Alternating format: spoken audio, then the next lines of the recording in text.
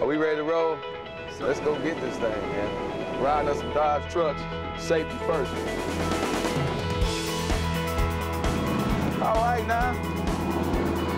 We down here Fairgrounds Park, man. We're gonna find us some people to, to get some water to. So I'm sitting there and I'm saying, uh, man, it's hot.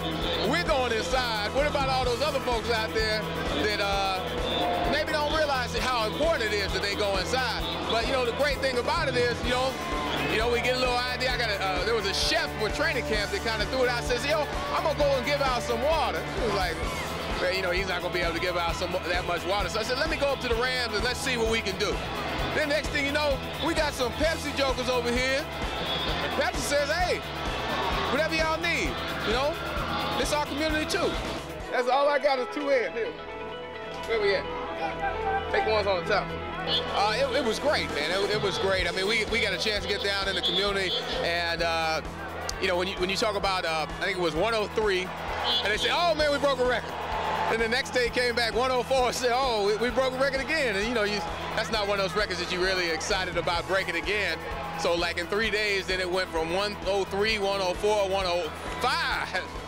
And it was like, man, we need to make sure everybody's out there drinking. Let's go around the corner and make sure people are drinking water now. And Chris and the Rams came to us and said, well, you know, we'd like to go into uh, the neighborhood and into the community and pass out water, and it's really hot. And we said, that's great. I mean, we're not sure how to do it, but we'll figure out a way to get it done. And so we did, and it was it was just awesome. You know, so we hope to continue it on and take it to uh, even to the next level next time. All right. Hey, y'all something right there. Oh, you welcome.